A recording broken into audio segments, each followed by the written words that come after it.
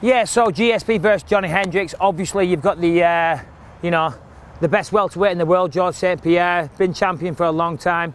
Um, I think this is a bad matchup. You know, obviously, you've got um, Johny Hendricks, who's a great wrestler.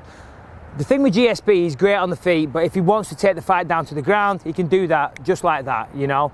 Um, he's been talking, there's been murmurs of retirement, you know, and I think whenever somebody starts talking about retirement, you know, that's maybe the beginning of the end, you know. You can't talk about, you can't think about a fight, but also be thinking about retirement at the same time. It's just not a good sign. I could be wrong, but I don't think that's a good sign.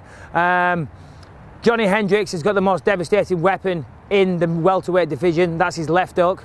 Um, you know, that left hook has knocked out Kampmann, uh, Jon Fitch. It's just, it's devastating. Combined with his wrestling, um, Johny Hendricks is, uh, is kind of like, Matt Serra on steroids, if you will. And we saw what Matt Serra did. I think if uh, Johny Hendricks goes out there, pushes the pace, gets in his face and is aggressive, I think it could be a knockout round one. You know, but this is GSP, so, you know, he's been the world champion for a long time for a reason. So, you know, but my money, Johny Hendricks, round one, knockout.